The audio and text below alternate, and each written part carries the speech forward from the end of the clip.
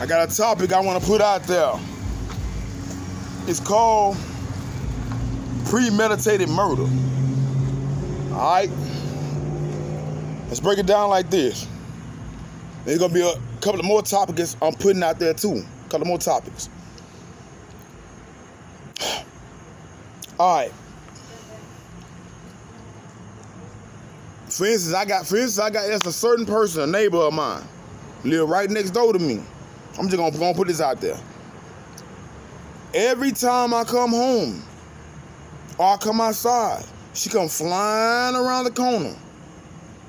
Right on time. Park in her yard, grab her dog. I think she bipolar a little bit. Grabs her dogs, go to call somebody on the phone, tell mama after her or something. All right, first of all, the lady don't like me. I really don't like her very much either. Homeboy mine found her in his yard. In his yard now. At 2 o'clock in the morning. Sneaking around in his parking lot. He came out with his gun and his flashlight. And when he spotted that she was a woman who she, the lady down the street, like, wondering what she was doing up in his car, but he like he just looked at her like and he said, "Oh, she said flashlight, flashing her face. She's like, oh God, oh God, um, what's going on? I mean, um, uh, that dude. I mean, what's going on? Uh, you on this man carport at three o'clock, about two o'clock in the morning. That's one. He's a Caucasian male, by the way. Blonde hair dude, pretty cool. What up, K? Yeah, I call him K. But um, she's on this man carport. Then I caught her in my yard a couple of times. When I'm feeding my animals, my pets or whatever, I found her dogs eating my pet's food under my carport. All right. Now,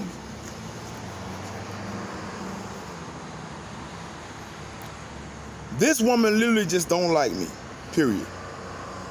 Uh, first of all, because I'm a felon. She don't. She don't like felons. Period dead. I don't care. I'm cutthroat.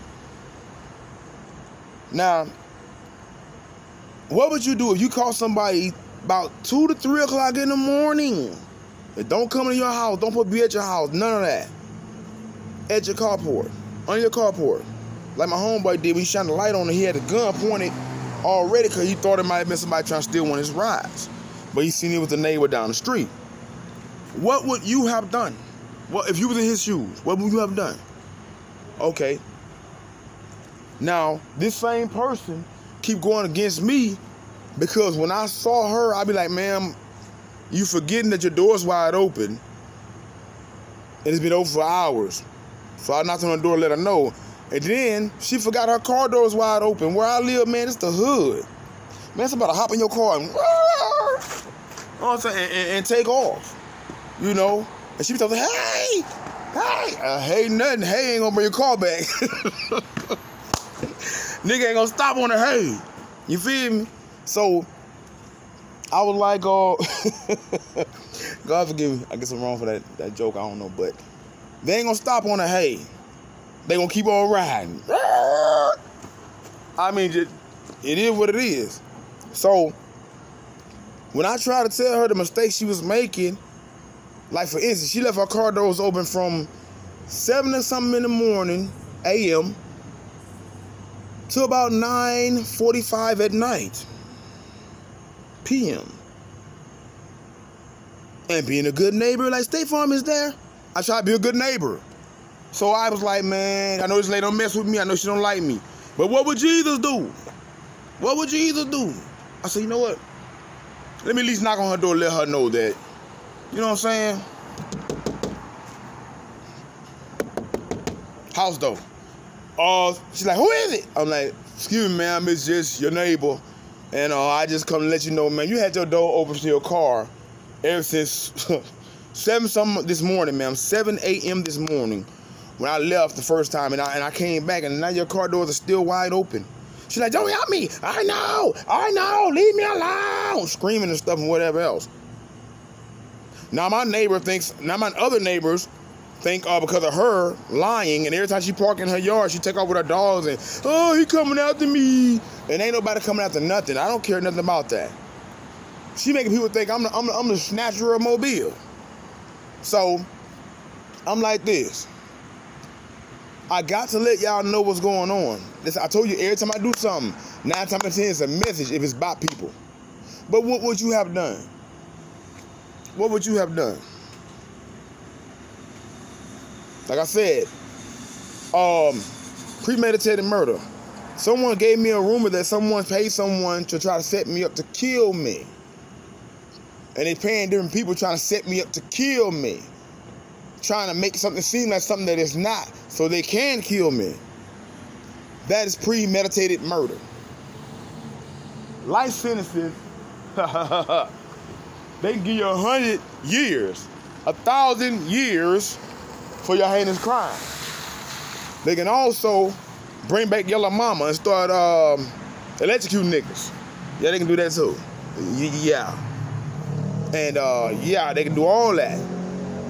But like I said, I, the only way we're gonna come back together is for slavery to be brought back, I believe. When everybody that's minority is in slavery again, we'll come back together the people. Yeah, I know. Cause we gotta be in bondage and even in lockup, we come back together as people. That's funny, ain't it? Oh yeah, people start breaking bread, making doo-wops, cooking with each other, showing love. What up, man? You, you good? Your, your food looking good? I hear they ain't really trying to do that.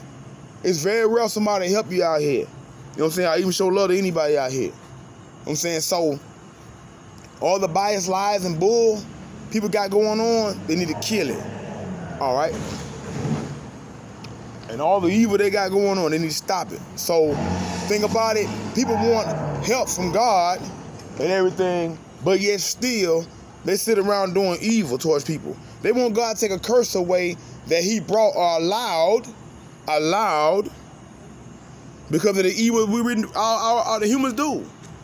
It said the wages of sin is death, man. There's no way to avoid the death if you're constantly doing evil towards people. I'm, I'm sorry. You will not avoid the death. It'll come upon you or someone you love. Can't avoid it. And something else. Knowledge 101. The way you know you have an enemy is somebody look your way and they, they speed up and they call mad. You know that's an enemy. Especially mine. If someone comes by your house start going boom, boom, boom, boom, boom, boom, three o'clock in the morning, but or sometimes it's odd where you know you're resting early in the morning or whatever. If they park by your house at a certain distance where you know your loud music is gonna span through the whole neighborhood and disturb you and all your neighbors. I got some old neighbors, so I don't like it. And disturb all your neighbors. They have no respect for you. Your mom, they don't care nothing about your mom. The only thing they care about, your kid folks, sisters, daughters, whoever got to go to work in the morning, or school or whatever. They don't care. They just care about hurting somebody else, irritating somebody else. And for the most part, most people know they irritate me. So they just started back up with the bull. Now somebody told me somebody stuck me in a store, punched me in a store or whatever, but I'm not sure.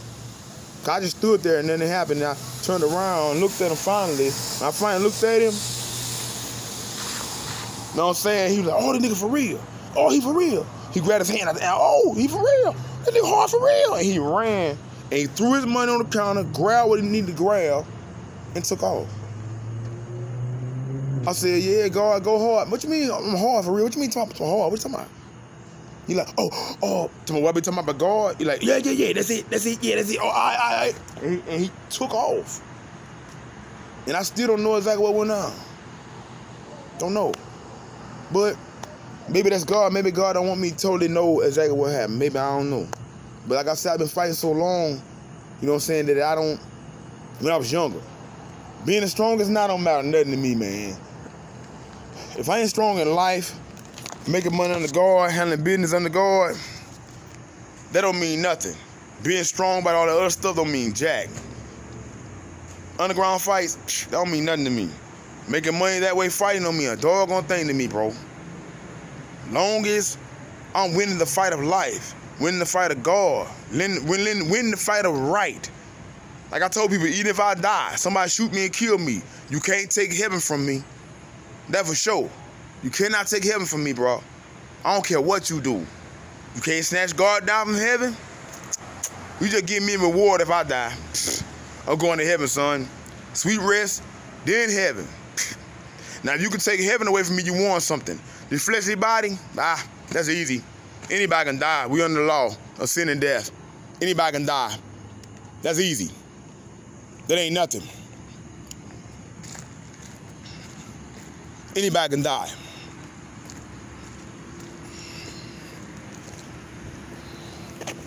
Woo! And we finna do that wood right there. Is that wood you finna throw away? Oh, oh, well, man, I thought that wood you finna throw away. I was like, hold on, let me get some, meat. me holler at you real quick. I was trying to holler at that man before uh, he throw that wood away for real. You know what I'm saying? Cause I can, I'm shoot, I'll find a way to get to the house. I can use that wood, man.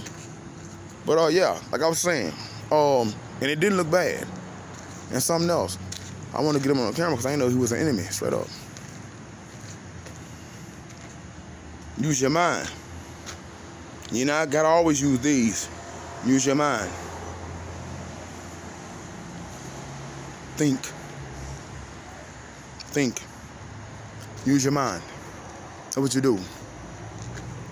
But I got to the point where I don't care what people say about me. And I'm getting tired of my neighbor going around with her bipolarness. See that one on right there, getting mad, taking off fast. Yeah. Like I said, I don't care about my neighbor with the bipolarness. Just stop telling people I'm after you. I don't care nothing about that. Stop going around lying like somebody trying to hurt you. Stop it. Keep my name out your mouth for evil. I'm not that man. You looking for somebody evil, you looking for a war? Go into another country and pull your pistols out and see what happened to you. You'll never leave that, homie. Go to Africa and say, we taking over. Yeah. Go to China talking about, come on, we taking over. Yeah, we bad. Yeah, and see what happens. Mama China, he gonna cut you up with every sword and every grenade, every bomb. but they, but they gonna do you in. they gonna make you out of some sushi. For real, they gonna they gonna turn you into sushi, nigga. But they got more guns and more soldiers in China, boy. You know what I'm saying? You could ever imagine around the world, boy. Stop playing. Then they got nuclear power. Do you want to die or something?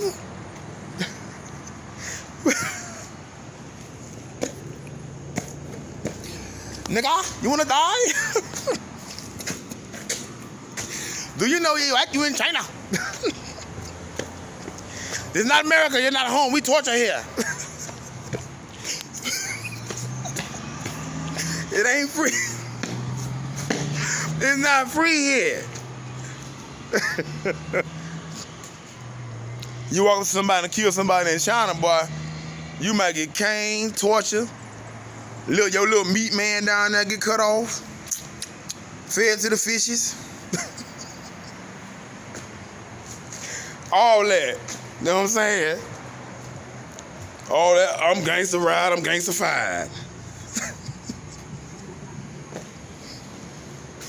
Man, the hardest people I ever seen was a mother that's trying to take her family with no, you say they had no, um, no father figure.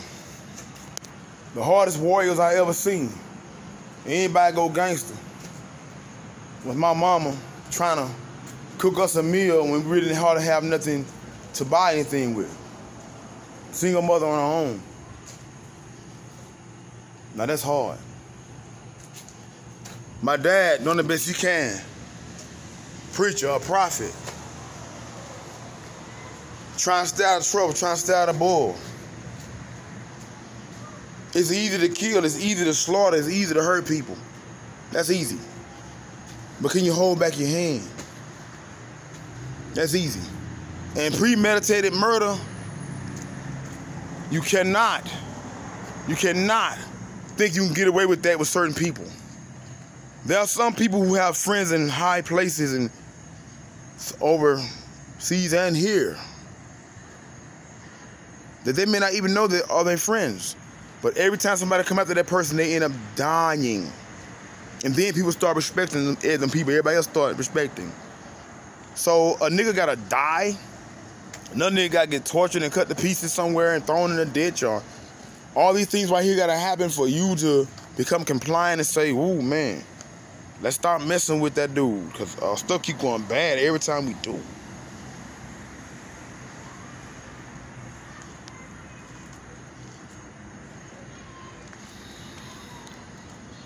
Am I strong? Answer is yes. Do I desire to hurt people or to rule the world with my fist? No. But I'm going to fight for the death penalty to come back in America. I'm going to fight for torture to come back in America. Then if people know they can pay under certain rules, maybe they will be compliant to them. Maybe they will not. They will stop doing the bull crap. I'm going to fight for cops' right to use full lethal force. Again, I'm gonna fight for it. I'm gonna fight for my name to be cleared so I can step up in power on certain things that need to be done. Enough is enough. This madness, insurrection, and all this trying to set people up for evil, it has to stop. America has become too soft. Too soft. Way too soft, man. It, it, it, they're too soft. Get away with every you get, people get away with everything, everything, man. So they figure you're gonna keep them in there about a few days, a month, two. You know, then you're gonna basically let them go. So why not start do, stop doing evil? Why stop doing evil when y'all letting them get away with it? They're not. They're not gonna stop. But when they start getting tortured for the evil, they start getting locked up a thousand years for the evil. They start getting separated from their family, family for the evil. They bodies don't say get get thrown in a ditch for the evil for keep doing evil over and over again. Now you done evil in your past, everybody's born in sin. And you stop and you gave God your life, or even if you ain't give God your life, you just want to live neutral, man. Woman, you just want to live neutral. Then amen. I hope your situation go good. Yeah. I said I hope I can't really pray for you like I used to. Um, God told me not to something happening right now. But um, I'm about to make a move. I hear somebody screaming. I don't know if nobody need help or what. Yeah, that's what I do. I ain't the police. I ain't none of that. I ain't none of those things that just people try to call me. But I am a child of the Most High. What up, puppy? I'm looking at dog. Look at beautiful dog, man. What am I? God bless y'all and y'all stay in strength. In Jesus' name, hair wolves get a bronze. Pressing through. Christ, God of Israel.